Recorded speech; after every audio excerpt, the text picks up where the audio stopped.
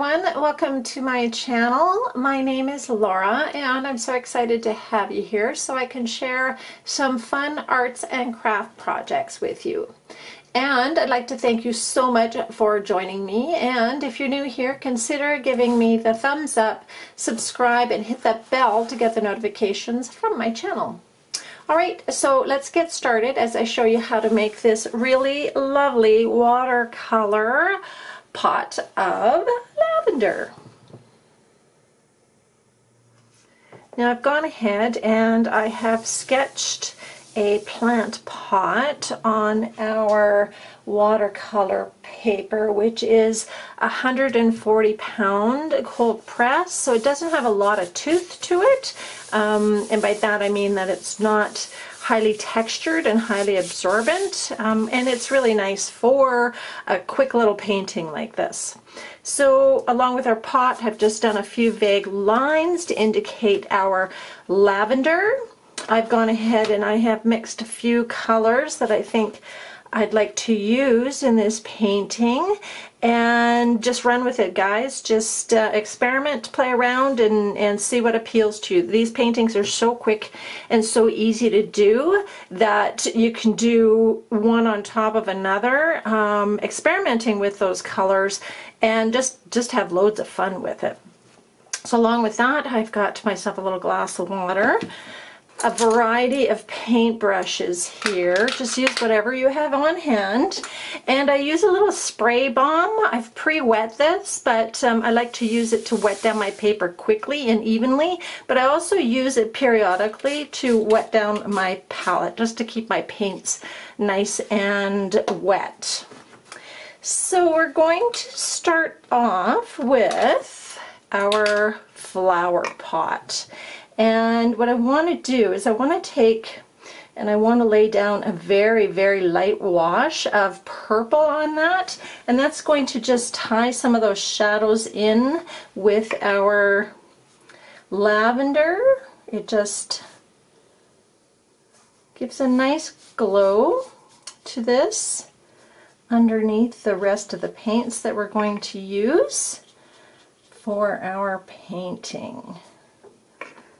So I'm just adding water as I go along to thin it out, to lighten the,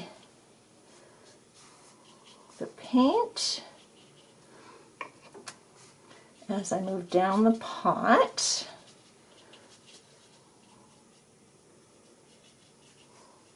And you can see I'm just kind of whipping through this, right? I'm not having, I'm not taking a, a ton of time to make sure that there's lots of detail or I've stayed inside the lines.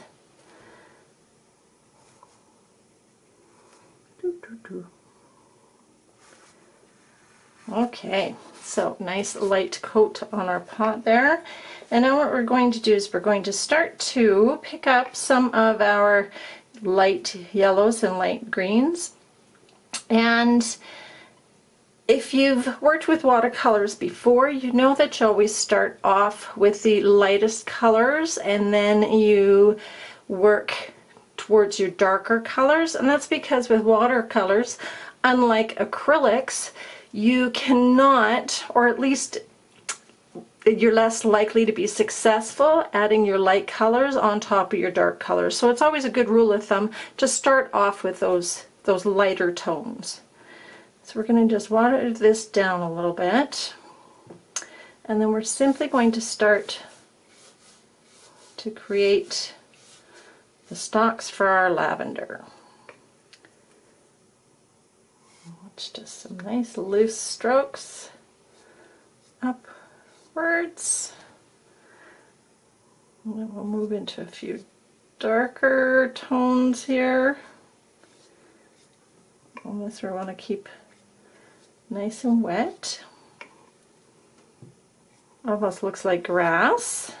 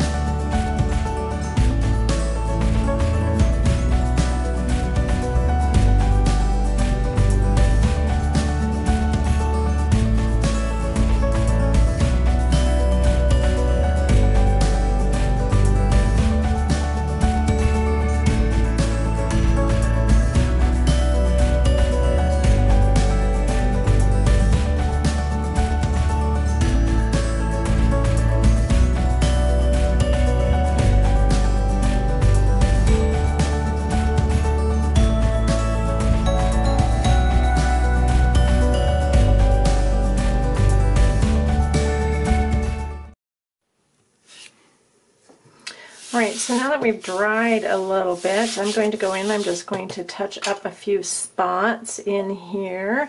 And by that I mean I just want to make my purples a little brighter, a little more vivid. Just gives that greater sense of detail. And we were getting pretty wet before this dried. So I just wanted to bump it up just a little bit.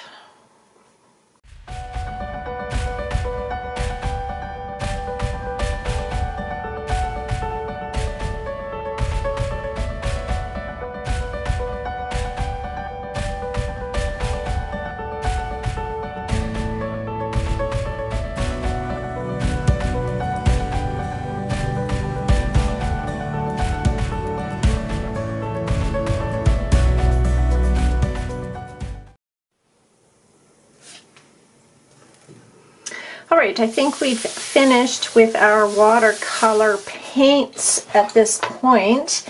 So I'm going to set them off to the side and I'm going to introduce my Sharpie. And we know that I absolutely love to use a Sharpie with watercolor paintings just to bring out some of that detail. I just think it's kind of a cool twist on a really great medium anyway. So I'm just going to start here. And a, lot of the time the when we use the felts or the Sharpie, it's a very subtle effect. Um, you really don't want it to take over in your painting. You just want to add those little details.